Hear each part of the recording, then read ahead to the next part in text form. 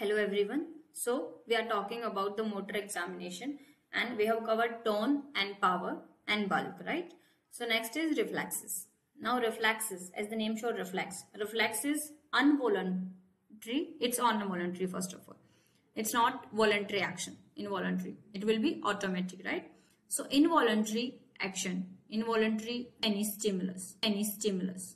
If the reflex arc is intact means there is no damage within the nerve pathway involved okay? Reflex arc when we talk about it's nothing but a receptor the signal taken by afferent a control center and efferent having effectors okay? Now that, that this is reflex arc. Now examination of reflexes. So eh, reflexes are of two types superficial reflexes and deep tendon reflexes. Superficial reflexes are when a stimulus is applied to skin or mucous membrane. Those are superficial reflexes. In response, the underlying muscle contract. Okay. Deep tendon reflexes are monosynaptic reflexes. Okay. There is one synapse at level of spinal cords. So superficial reflexes are polysynaptic reflexes. So some higher centers are involved and there are no only one synapse. In fact, more than one synapse involved. Okay. So let us start. So superficial reflexes first. Superficial reflexes of two type based on spinal nerve and based on cranial nerve. Based on spinal nerve are plantar reflex, abdominal reflex. Based on cranial nerve are conjunctival reflex, visual reflex and accommodation reflex. So starting one by one all the reflexes starting with plantar reflex. So plantar reflex first of all to know any reflex first of all what should be the position of subject right how you'll do, how you'll perform the procedure. Okay. Then what will be the response and what is the root level. Okay. This, these all you should know. So plantar reflex. So subject should be in supine. Okay. So this way the leg should be like this and you can hold it also so that it will not be mobile and this is the plantar surface where you will run a blunt object and it should be fast for example a key so from heel to little toe and then medially so this way you have to run a blunt object. Okay the response is flexion plantar flexion so all the toes they will be bending toward this same surface plantar surface. Okay this is plantar flexion the response. The level is L5 S1 okay the extension if there is extension of toe and dorsiflexion on the opposite side toward hand. So that dorsiflexion is present in upper motor neuron lesion. So this is plantar reflex. Next is abdominal reflex. The position, the subject should be supine, relaxed with exposed abdomen. Okay.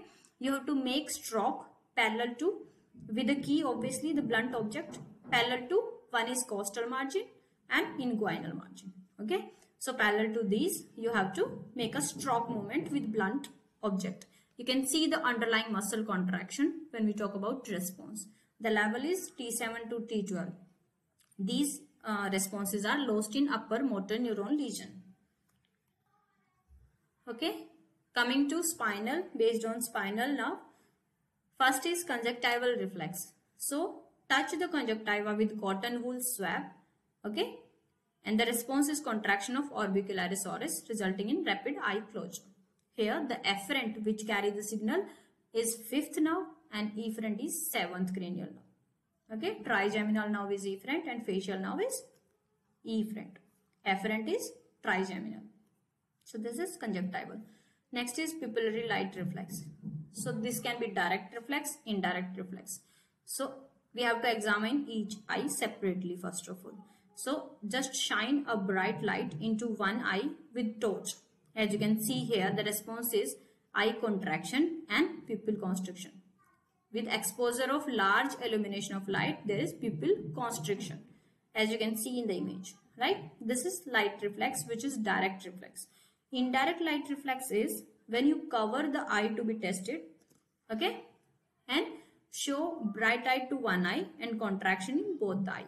So if you're lighting this and you're covering here with a uh, like copy, paper, anything and you are observing the same result in other eye also. That is called indirect reflex, right? Then is accommodation reflex. So accommodation is the process by which images of near object are focused on retina, increasing lens curvature. So hold one finger close to subject's nose. Okay. Ask him to look away at distant object. Then suddenly on your tip, fingertip. So first the subject will be looking far away and then suddenly on your fingertip. That is accommodation, right? Response will be contraction of ciliary muscle and increase curvature of lens. As you can see in the image. So contraction of ciliary muscle. So as you can see here, the image which was far. So he was first looking far. Okay. The image is like this. And suddenly when look close, the image is like this because the curvature had changed. The lens curvature. Okay. So re response is pupil constriction and contraction of ciliary muscle. Accommodation reflex. Coming to DTR, deep tendon reflex, which are monosynaptic reflex and will be covering knee jerk, bicep jerk, tricep jerk, supinator and ankle jerk. Okay, let's start. Knee jerk reflex. So position for knee jerk is very important. Either it can be done supine or sitting. Okay, the examiner hand passed under knee to be tested and placed over opposite knee. So this way we can place it on opposite knee also and we can place hand below and it should be hanging then. Okay, in the same way sitting with the leg should be hanging freely over other knee.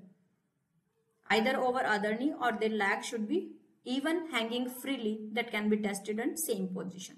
Response is when you hit the tendon here where the quadricep tendon is originating here just below the patella. Okay, you have to hit here. Now the quadricep contraction occur because of this the hit the knee is basically extension occur.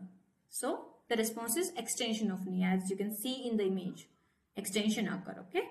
So level is L2, L3 and L4. Okay. Coming to bicep jerk, position is flex the elbow to right angle with forearm in semi-prone position. As you can see here, the elbow is flexed 90 degree. Now place thumb or index finger here on bicep tendon. Okay. Now strike it with hammer. As you strike it, the bicep contraction occur, which lead to flexion. Okay. That is the response. Level is C5, C6. Tricep, flex the elbow and allow to rest across subject chest and tap tricep tendon. As you can see, this elbow is flexed and here is the tricep tendon which we have to hit with hammer. Okay, and broad end of hammer. The response is contraction of tricep which will lead to extension. This is written wrong. Sorry. So contraction of tricep lead to extension of elbow. If this is contracting, it will be extension. Okay. Level is C6, C7.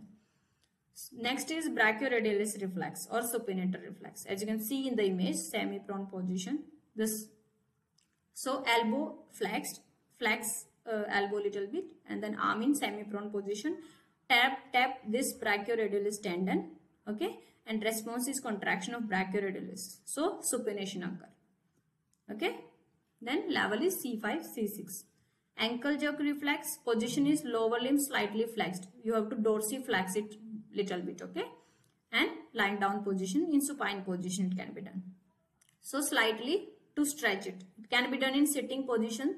The other image is showing sitting position. You have to flex the dorsiflexion uh, is done. And posteriorly there is tendon. And this is gastrocnemius muscle right? Having tendon here. So with hammer you have to hit it here.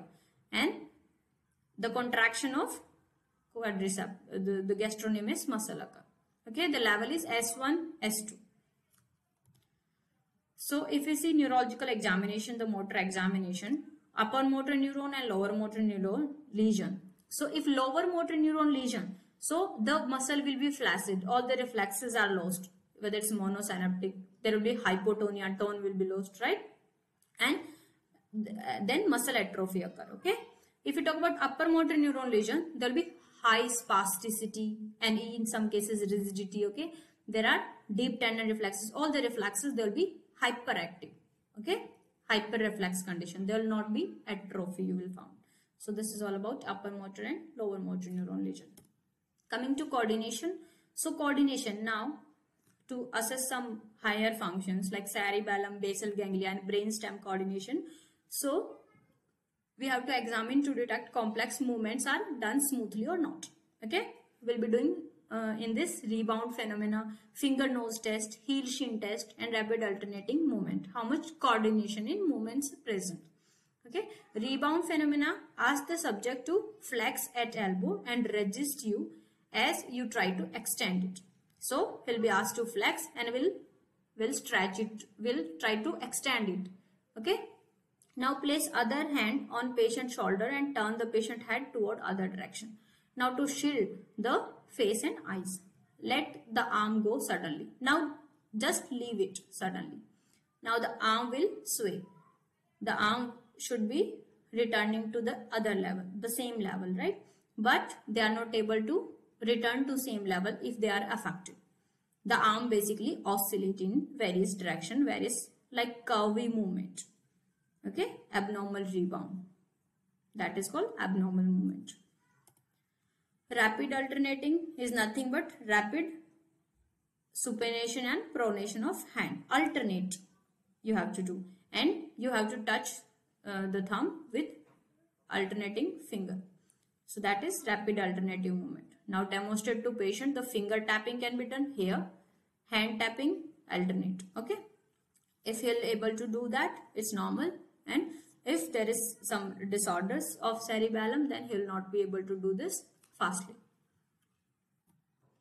Heel to shin test. As you can see here, heel is touching the tibia here.